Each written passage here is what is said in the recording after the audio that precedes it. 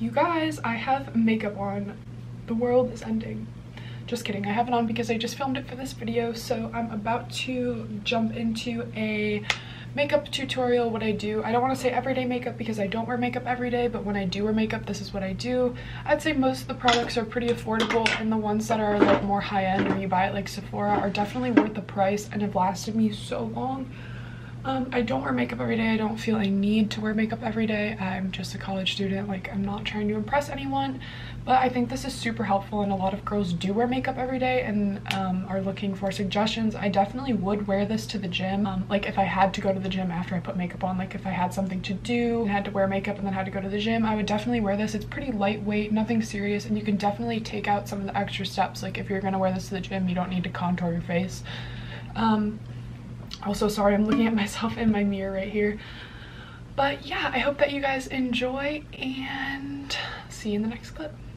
So I have pulled my hair back, dampened my beauty blender, and now I take my Nivea Men's Post Shave Balm. And I know this probably is, you're probably like, why do you use Men's Post Shave Balm? But this stuff really helps my makeup stick to my face. It gives a little bit of a tacky feel. It's never broken me out. I get the sensitive kind though, just to be safe and I put a little bit, just about that much, and it goes on clear on your skin. It does have a bit of a scent, but like I said, I've never had an issue with it breaking me out. And then I just rub the excess down my neck. And then next I take the Benefit POREfessionals and I love this stuff. I do have bigger pores like right here on my face and then right here under my eyes or on my nose. So I don't apply this to my whole face, just those areas. And this is a new tube, so I gotta take it. Okay, so I just take a pea-sized amount and then dab it on the places that I want it to be. And then rub it in. This has a little bit more of a silicone feel than the post shave balm does but i think this just does a really good job of evening out my skin. It does have a little bit of a tint. For foundation what i usually use if i'm going out which today i am not i use a little bit more full coverage this tarte shape tape stuff which i love. I I am in the shade medium tan honey but like I said I only really use this if I'm going out or have somewhere special to be or I know I need my makeup to look like flawless and last a long time Whereas on days like today where I'm not really doing much, I use this and I love this stuff. It is the L'Oreal Infallible Pro Glow and I am in the shade 204. So what I do is I just put a little bit on the back of my hand, probably about that much. Then I take my ring finger, dab it all around my face. Also, this stuff is amazing. It's like 10 bucks at Target or Ulta. 10 or 11 dollars don't quote me on that and then i always put a little bit on my neck just to make sure i can blend my face to my neck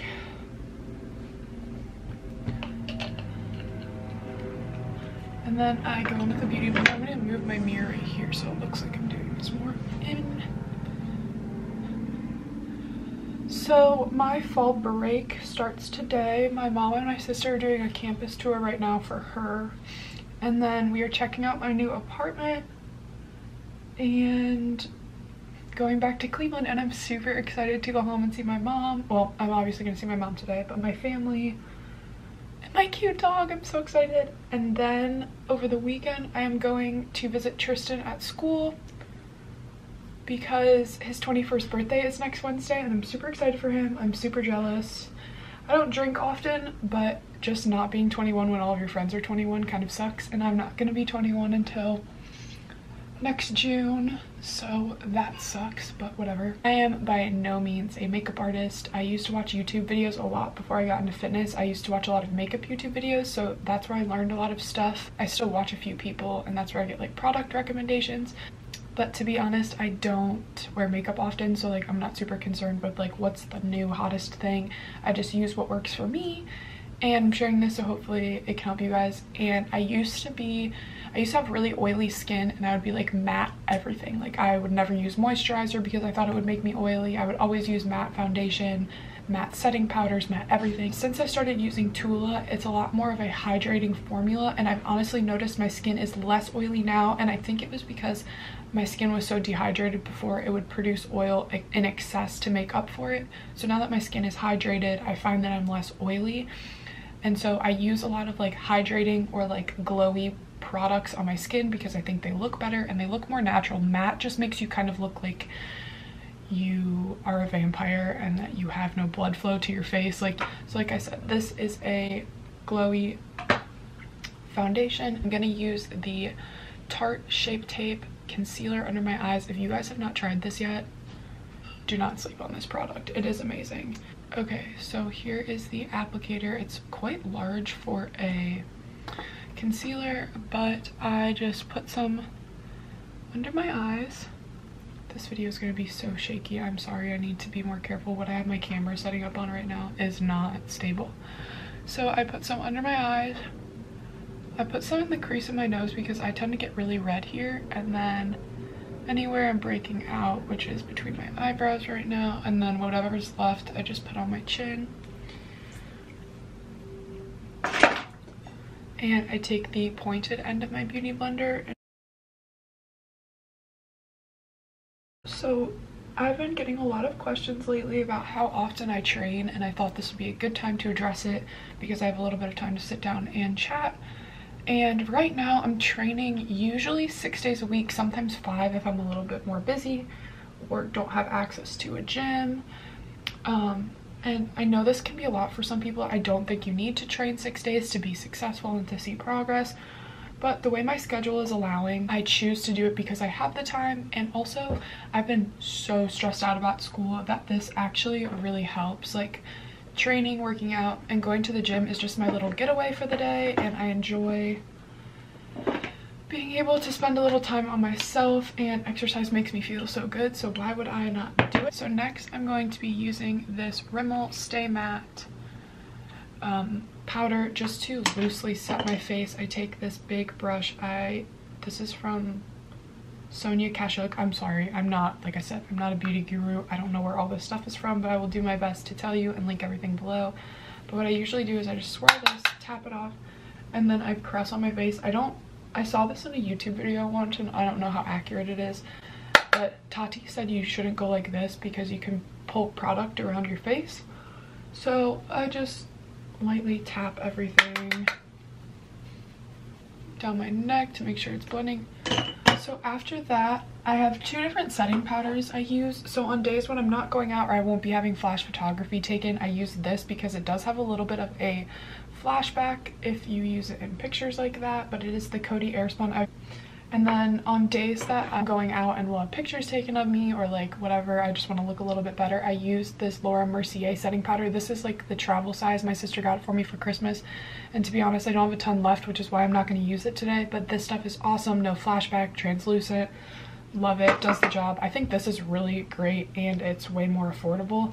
So what I do is I just shake it so I get some in the lid and then you have to be very careful when you open this because you can get it everywhere. So you've got a little bit in the lid and then I take my beauty blender I take the pointed end get some product on there and then I tap it off. And then I just I used to fully set my under eyes and I would let it sit but now I just kind of press it into the skin until it's not super noticeable. Well you don't want it to be noticeable at all. See, I mean, you can't really tell the difference, but you can see that there's no product. Like I used to let it sit and then I would dust it off, but now I just press it into my skin and I find that works better for me.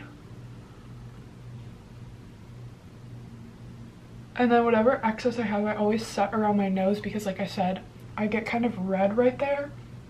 And I tend to like blow my nose or rub my nose a lot, especially in the winter and so that's like the first part of my makeup to come off just from me rubbing it okay so next i go in and i start to bronze my face and i use the hoola bronzer by benefit i love this stuff and i take this brush to be honest. I don't know where I got it from. I'm gonna guess Sephora, but it's just like this dense, fluffy brush.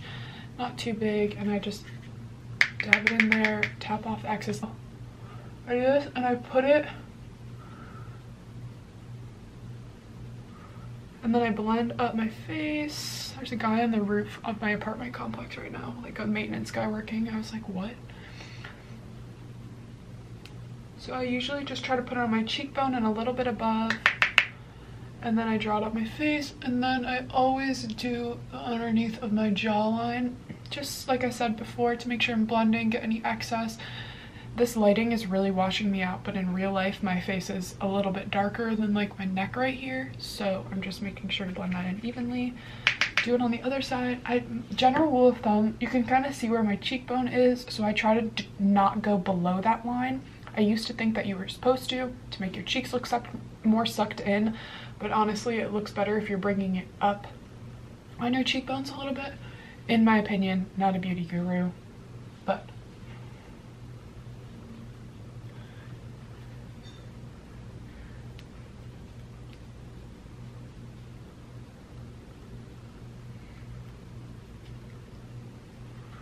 So that's what it looks like when we're done. So I do have a little bit of tan right there. I'm Gonna get a little bit more, bring it down my neck.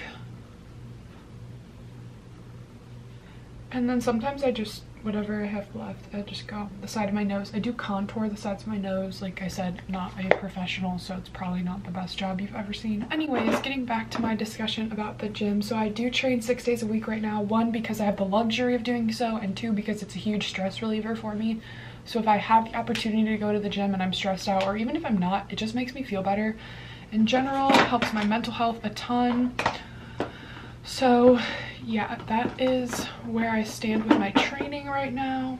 Um, but obviously, as I get more busy, or if I get more busy, I definitely will cut back on my training. Or if I see injuries start to occur or overuse just in general, I will cut back. I don't think it's necessary to go six days a week. So next I'm contouring. I've had this palette forever. I'm sorry it's so dirty. It's the contour kit from Anastasia in light to medium. These are the colors. I literally just dab my brush in these a couple times and tap off the excess. I always start back here and blend into my hairline because I think it takes the excess product off instead of like swiping it up your face and then you just have a really harsh black or brown line and I use a super light hand with this and I try to make a shape like this up around my cheekbone instead of like straight down. Um, these are all things that I've seen from other YouTubers, so I take no credit for these, good or bad. And then I take whatever extra I have and just put it on my temples, and then really whatever extra I have, sometimes I dab it a little bit more. I will put down the sides of my nose, under my nose, and then I sometimes will blend it down through my eyebrows just because I think it gives a little bit more of a line. I'm not sitting here with like a contour stick going down my nose. I don't care that much. I have a big nose. What are you gonna do about it? Next, sometimes I do my eyebrows, sometimes I don't. Today I am only because they're not, like I haven't cut them in a while and they're just kind of crazy. And another reason, I don't feel like I need um, to fill in my eyebrows. Like they're pretty dark as is, but sometimes when I put foundation on them, they get a little washed out. So you guys are probably gonna laugh at me. Like I said, I don't really like do my eyebrows ever, just sometimes when I feel like I need it. I use this stuff called Brow This Way. It's from Rimmel. Like I said, I'm sorry that my makeup is also dirty. I don't use it that often, so I don't feel the need to like keep it super clean or like be careful with it. There's a powder side and a pomade side and I just take this little brush that comes with it, like I said.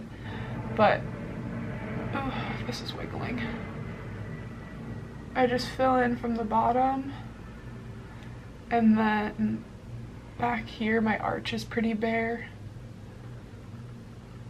And then I just kind of, this is so much harder to do in a mirror that's far away than a mirror that's close up. So yeah, I mean, my eyebrow definitely looks darker and it looks kind of harsh. So then I take my brush and I just brush through to get the extra product out. And then I brush my eyebrows up because I just like a fuller look of my eyebrows. So yeah, that's what that does to my eyebrow. Wow, it looks really harsh in comparison to the other, but I promise once I fill it in and put some mascara on, I'll look normal.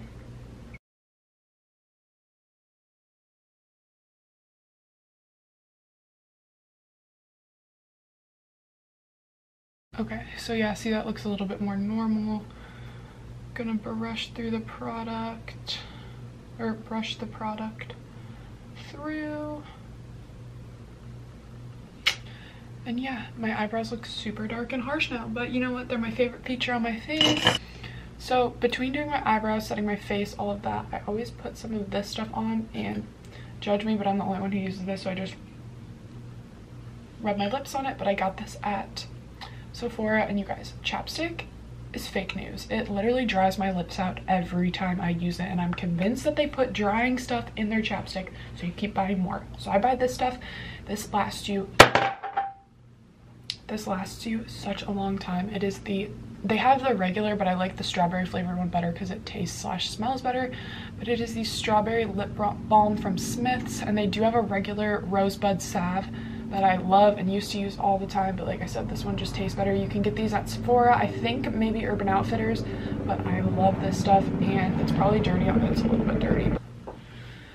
After I've got all my powders on my face, my foundation, my all that stuff. All I really have left to do for like my everyday look, and honestly this is what I do when I go out to, um, if I'm gonna put on makeup, it's usually always the same. I used to do like full eyeshadow and thick eyeliner and line my lips and like it's just too much. I like to have clean face, nice face makeup, a little bit of mascara and good highlight. We're set. So I use a setting spray after I've done all my powder stuff and before I put on my highlight and mascara, because I do use a liquid highlight, I want my face to be not so powdery on the top. If I spray my face after I put mascara on, I always get black dots up here and down here, so I'm not having it. We do it beforehand. I got this from Marshall's. It is the Hydrate by Valjean Labs. I think this was like four or five dollars and it has hyaluronic acid and vitamin B and I do know that hyaluronic acid is supposed to help your face feel and look more hydrated and plump so I'm into this sets my makeup fine. I, it says can be used after cleansing before moisturizing or throughout the day over makeup. Honestly, I just use this as a basic setting spray, no big deal. So I just close my eyes.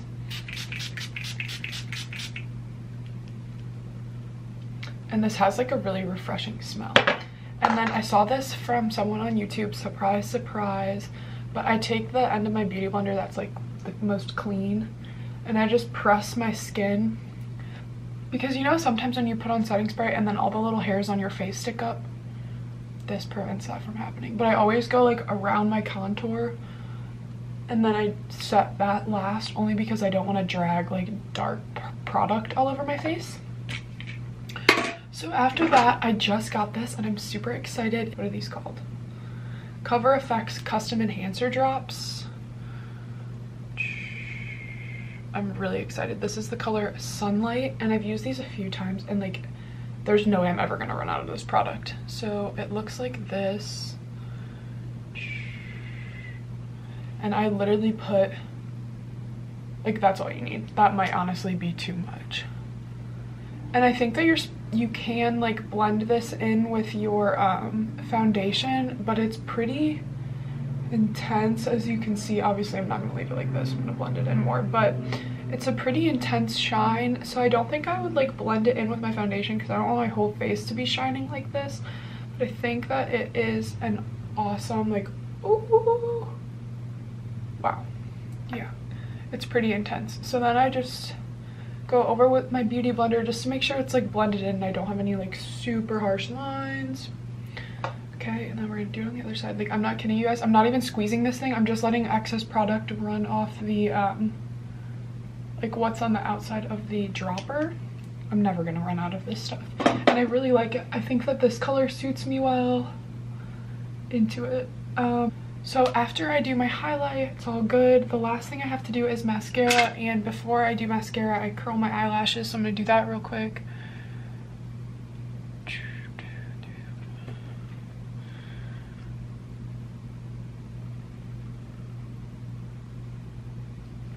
and then I apply my mascara and I use Lash Paradise from L'Oreal. This is a perfect dupe, literally packaging and everything for the Better Than Sex from Too Faced. I used to use that mascara and it's like $20 more expensive than this. So just buy this one. It's amazing, does the job.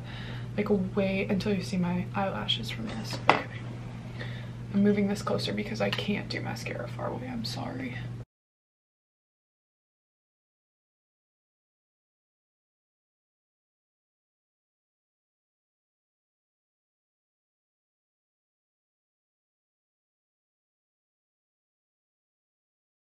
Like, I don't know if you guys can see that, but wow, my eyelashes look so good. I have tried to put on fake lashes probably a hundred times. I get so frustrated and end up like crying or throwing a fit every time I do because they're just so impossible to get on for me. Um,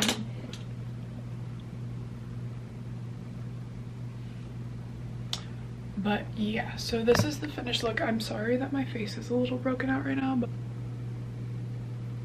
like, do we see these eyelashes? Wow. I've never wanted to put my face that up close to a camera before in my life, but we're doing it. Okay, so that is my makeup routine. I don't want to say everyday makeup routine because I don't wear makeup every day, but when I do wear makeup, this is what I do, whether I'm going out, have something to do, or whatever. So yeah, this is the look, and I hope you guys enjoyed. Sorry this wasn't more chatty. I just don't really have a ton to talk about, but I hope that you guys enjoyed this video. Please give it a thumbs up. Don't forget to subscribe and let me know in the comments what you guys want to see next. I appreciate your support and I'll see you in the next one.